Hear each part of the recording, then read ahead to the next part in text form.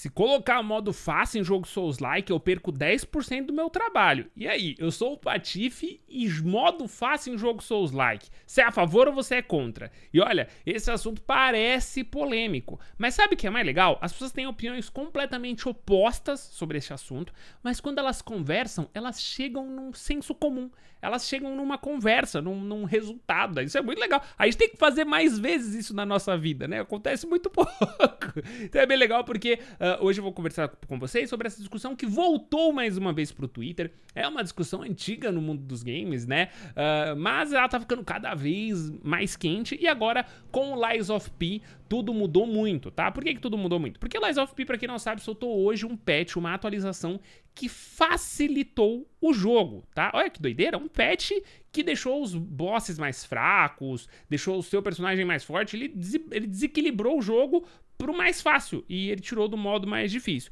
E parte do que esse jogo estava sendo muito avaliado, né, até de certo modo criticado, é que ele tinha prometido ser mais fácil do que ele era. No final das contas, ele é bem difícil. Só que ele facilitou muito agora. É uma loucura. Então, vamos começar do começo. Porque como essa briga aconteceu no Twitter, temos que mostrar o Twitter, né? Eu vou começar aqui com o Biel, é o Ashen, Phantom Liberty, uh, e eu quero que vocês gravem muito esse tweet, porque para mim ele, ele, ele, na verdade, ele começou toda essa conversa, tá? Uh, e mais legal do que isso é porque o Biel é muito legal, ele é muito legal e vocês vão ver ao longo do tempo aqui. Mas ele foi o post dele que gerou a polêmica toda, que é bem legal. Bom, entendam, Souls-like é feito para ser difícil e desafiador. Se você não consegue jogar, não é para você, e tá tudo bem. Tem muito jogo por aí com modo de dificuldade que você nem nem leva dano.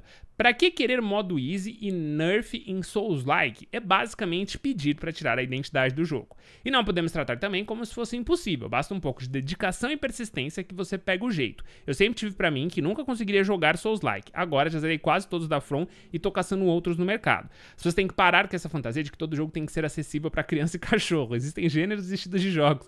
Cabe a você analisar se é seu estilo ou não. Do contrário, vão ficar todos sem identidade para tentar agradar a todos e nem assim vão conseguir.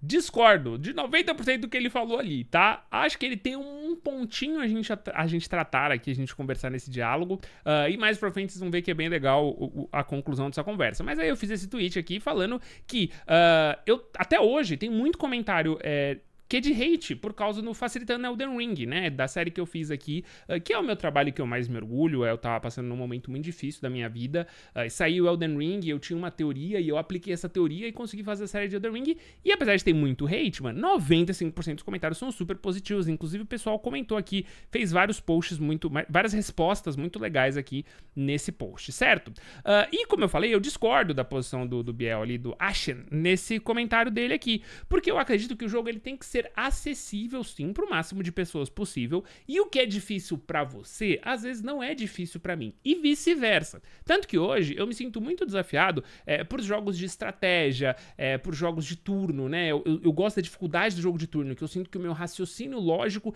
ele é contestado. Tipo, XCOM. Eu adoro a dificuldade que o XCOM tem, porque eu sinto realmente que ele desafia algo além da minha habilidade de apertar botões. Já o jogo Souls, hoje eu entendi muito da mecânica, como ele funciona. Então, eu entendi que se eu tiver paciência, frieza, beber uma água na hora certa, encarar o desafio, às vezes voltar para farmar tudo, eu consigo enfrentar cada um desses desafios. E esses desafios que são colocados no Souls-like, que os caras, que são os reis dos Souls-likes, falam que você tem que ter a dificuldade, mano, 99% dos desafios são você ter tempo para jogar o jogo, tá? É, é a grande verdade, você sabe disso. E eu sei disso porque eu gasto muito tempo para aprender um moveset para trazer um vídeo aqui. E aí, isso aqui é o hard mode, tá? Olha o comentário do Fê Barreto. Ajudou muita gente com pouco tempo para grindar, mas queria curtir o jogo. O pai de família gamer agradece a contribuição. Então, mano, se o tal desafio do jogo é só você ter mais tempo para jogar, aí vamos lá que realmente não faz menor sentido você ser contra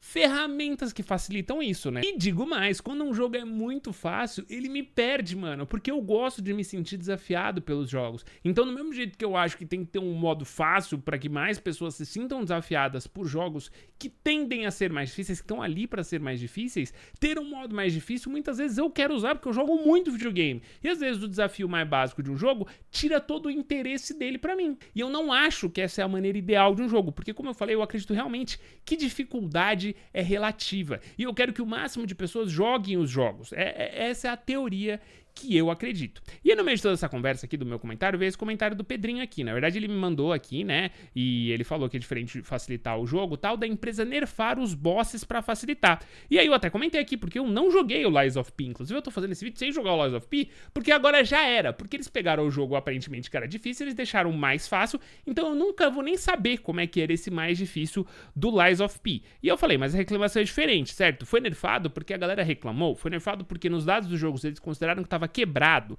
Eu lembro que a ideia do jogo era ser mais fácil desde o começo. E aí o Pedro mandou esse comentário aqui que eu acho que amarra muito bem essa situação, né? Até onde eu vi, eles não falaram nada sobre motivação, só facilitaram muito o jogo. Antes do patch, era uma experiência difícil, mas justa e gratificante. Me lembrou muito Dark Souls 1. Agora tá bem de boa. Você dá stagger em mini-boss com dois hits na sessão inteira de hoje. Eu morri quatro vezes só e duas delas foram por desviar para fora da plataforma. Eu não me importo que eles coloquem coisas no jogo para facilitar, tipo Elden Ring. O que me incomoda é que a dificuldade que ontem era um nível bom, para mim hoje tá muito fácil. E eu não tenho como mudar isso.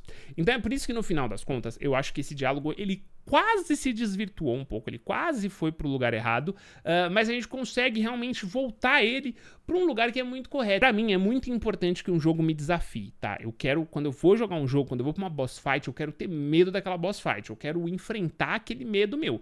E eu acho que esse medo ele vai ser baseado na minha habilidade com aquele jogo, né? E na sua habilidade. Então não tem como a gente nivelar, não tem uma fórmula perfeita, né? Não tem como um jogo Souls ser difícil na mesma intensidade para mim e para todo mundo que me assiste, né? Então, é, quando eu fiz a série de Facilitando Elden Ring, a minha ideia sempre foi, mano, as pessoas precisam viver essa experiência. Então, eu quero mostrar de onde você tira essa dificuldade, como você facilita isso. Sempre foi minha base aqui no canal, né? E que nem eu brinquei no começo do vídeo, é, mano, 10% da base do meu conteúdo este assunto, né? Tem esse outro é, do comentário do Baggio aqui que eu separei, ó, que é o Felipe Baggio, ele comentou, é, Felipe Baggio, comentou: Só consegui jogar meu primeiro Souls por causa dos teus vídeos. Sem eles, provavelmente eu teria desistido logo no começo. PS, depois peguei gosto pelo gênero e já joguei alguns. Então, obrigado, Patifão putz, comentário, aqui foi um comentário fofo, nem vocês são fofos, eu fico muito feliz quando eu leio isso, mas sempre foi a minha ideia, né? É abrir as portas. Porque eu, da primeira vez que eu joguei Dark Souls 1, eu odiei, eu achei péssimo. E aí, na época, eu achei o YouTube de um, de, de um brother, uh, e ele tinha um facilitando ali do Dark Souls, eu joguei o facilitando dele, entendi, peguei gosto pela coisa, e ele me inspirou a começar a produzir conteúdo. Tanto que se você pegar o meu primeiro vídeo de 11 anos atrás, é eu dando dica de jogo. Porque foi quando eu entendi, cara, se eu tenho facilidade aqui, eu posso facilitar a vida de outras pessoas pessoas e trazer pro jogo. E lembra que o, que o tweet começou tudo foi do Biel no, no, tweet, no Twitter, Ashen. E aí a gente. Ele apareceu no meu post, o que foi muito legal, tá? Uh, eu não sabia, inclusive, que era o tweet dele que tinha gerado toda essa conversa. Uh, tanto que você vê que o meu tweet é bem genérico, né, mano? E aí ele comentou no meu vídeo, ele falou, perfeito, mano, né? Naquele meu post lá. Ele falou: ó, isso mostra que existem meios de tornar o game fácil. Cabe a você saber usar elas. Eu também usei o mímico pra caramba. pra caralho, né? Porque eu tô, não tô falando palavrão. Sangramento e foda-se. Era divertido e tava lá. A zica mesmo para mim é ter um modo easy lá. Aí para mim foge do conceito do Souls-like. E aí foi o que eu falei. Eu falei, mas aí um slider de dificuldade não teria sido uma decisão melhor desde o início? Porque pelo que eu entendi, a atualização facilitou o jogo base e difícil é relativo. O que é fácil para você pode ser difícil para mim e vice-versa. Que eu acho realmente quando você coloca um slider e você passa para a pessoa que a dificuldade que ela tem que enfrentar dentro de um jogo é é aquela, né? Então eu acho que você não precisa necessariamente perder a essência do jogo. Por que eu falei que eu discordo de 90% daquele tweet dele? Porque uma coisa eu acho que é fato. É, a dificuldade, ela é parte sim da essência do jogo. Só que eu acho que a dificuldade, ela tem que ser adaptativa. Eu não acho que é, a gente colocar uma dificuldade inalcançável para uma parcela dos jogadores é, vai fazer aquele jogo é, é, ter a essência dele. Eu acho que a essência é ser difícil. A essência é você lidar com a frustração, é você respirar e você ter paciência. E é difícil balancear isso, tá? É muito difícil, eu sei. E eu não acho que existe uma fórmula é, perfeita. Por isso que, na minha, na minha ideia, era uma ideia bem simplificada. E é muito legal, porque aí o, o, o Biel, acho que ele passou o dia conversando com isso, porque o Twitter dele saiu muito da bolha dele, assim, né? Então, ele passou o dia conversando sobre isso. E ele mandou um tweet que eu achei genial. Genial. E se liga.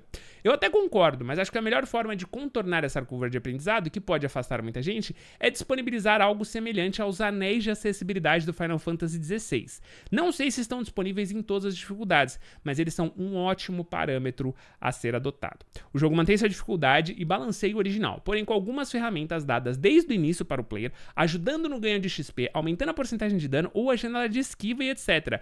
Acho extremamente válido e me toquei mais nisso conversando sobre no meu post hoje. Então, eu achei muito legal, de novo, porque essa é uma conversa que, que a gente trata há muito tempo como polêmica, mas eu acho que quando a gente tenta ter um diálogo, né, de pessoas legais também, porque ele recebeu uns. Ele recebeu cada tweet maluco, que, que é um absurdo, que é o Twitter, né? Twitter tá aí para isso, as pessoas causarem muito desnecessariamente. Mas eu achei genial ele citar os anéis de acessibilidade do Final Fantasy, porque o, o, o, Elden Ring, por exemplo, ele é um negócio que tem muitas ferramentas facilitadoras, seja o Summon, seja a, a, semente, né? Então ele tem várias coisinhas ali que se você sabe o que ele faz, a sua jornada de, fácil, de fato é mais fácil, né? Uh, mesmo o tutorial do jogo, né? Ele tinha um tutorial meio escondido ali no começo, depois eles adicionaram marcadores que te faziam ver o tutorial, mas o tutorial do jogo era escondido, né? Então para alguém que não é familiarizado, realmente a experiência pode ser frustrante e eu não sou defensor da experiência frustrante. Os anéis de acessibilidade do Final Fantasy, se você não sabe, é exatamente isso. São três itens que você começa o jogo com, você pode equipar, né? Então, pô, vai ter o anel que vai te dar mais dano de fogo, só que você pode, no lugar do anel que dá mais dano de fogo, que seria a sua build normal, você coloca o anel que aumenta a sua janela de esquiva.